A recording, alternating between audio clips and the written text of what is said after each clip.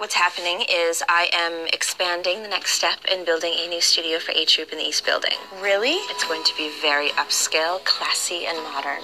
The studio was doing so well after our internationals win, but the recent loss at regionals has set us back a bit. It'll be good to give the studio a new direction, you know, put it on a winning path.